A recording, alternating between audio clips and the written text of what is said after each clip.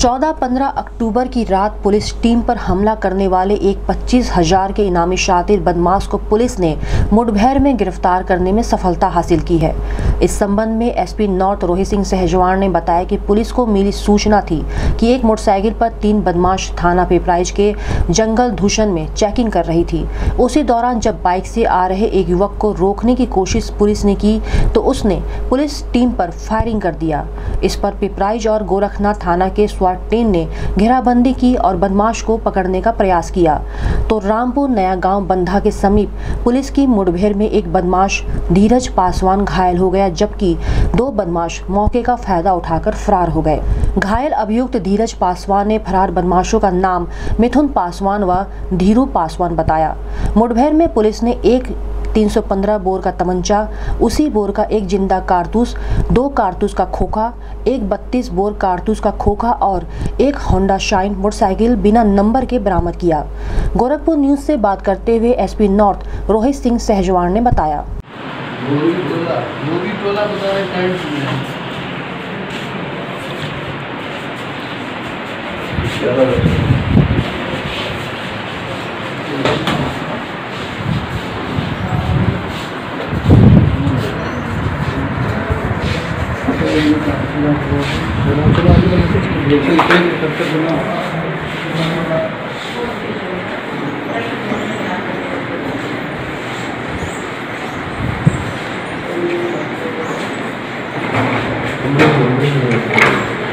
आगे आगे तो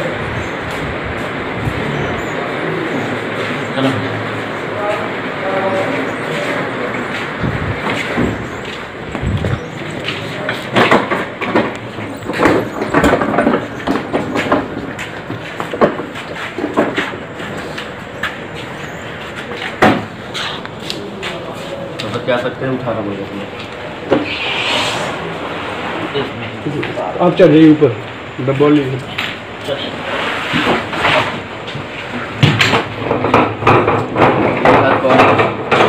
बैठ जाओ बैठ जाओ दोनों लोग बैठ जाओ उसी में बैठ जाओ।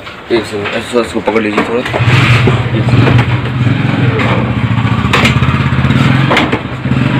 पैर लो ये। पैर सीधा लो। सीधा नहीं अच्छा हाथ इधर रखो हाथ इधर रखो सीधा ऐसे हाँ। उसको सुंदर पकड़ लो उसको बैठ जाइए सर बैठ जाइए बस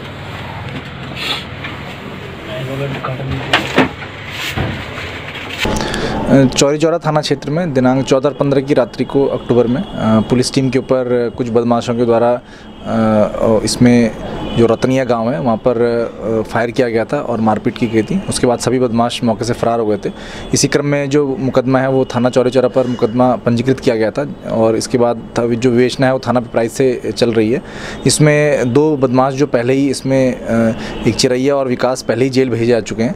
इसी इसी क्रम में कल पता चला था कि जो तीन बदमाश हैं, उसमें वो मोटरसाइकिल से जंगल धूसड़ की तरफ़ से शहर की तरफ़ आ रहे हैं और इसी दौरान एक पुलिस चेकिंग पार्टी वहाँ पर लगाई गई थी और इसमें जो बदमाश जब आए, उनको रोकने का प्रयास किया गया तो उन्होंने पुलिस टीम के ऊपर फायर किया, फिर पुलिस टीम के द्वारा अन्य थाना क्षेत्रों में वायरलेस किया गया और आगे जो शहर की तरफ़ जो थाने पड़ते हैं, गोरखनाथ थाना और जो एसओजी टीम है, उनको बताया गया और उनको जो घेराबंदी वो बंदे के पास जो गोरखनाथ थाना पड़ता है, नया गाँव बंदा, वहाँ पर इन सभी बदमाशों की घेराबंदी की गई।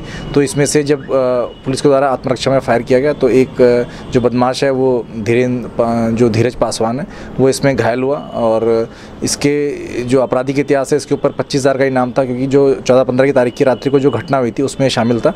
तो इसको वांछित किया गया था और ये पच्चीस का इनाम इसके ऊपर था। साथ ही साथ इसने बताया कि जो दो और लोग थे, वो मिथुन और जो धीरू पासवान है, वो मौके से वहाँ से फरार हो गए। और इसकी एक मोटरसाइकिल भी जो जिससे आ रहे थे, वो भी वहाँ पर बरामद हुई है।